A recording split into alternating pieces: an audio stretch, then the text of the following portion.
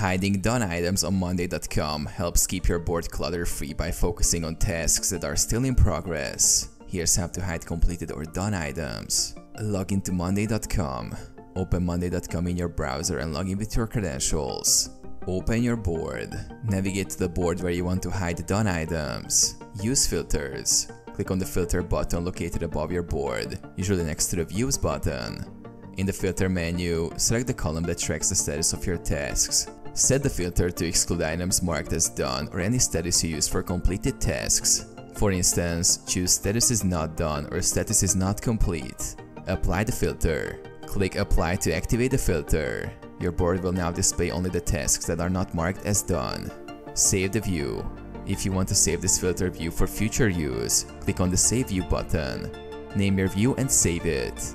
Toggle filters. To view completed tasks again, simply remove or adjust the filter by clicking the filter button and modifying the filter settings.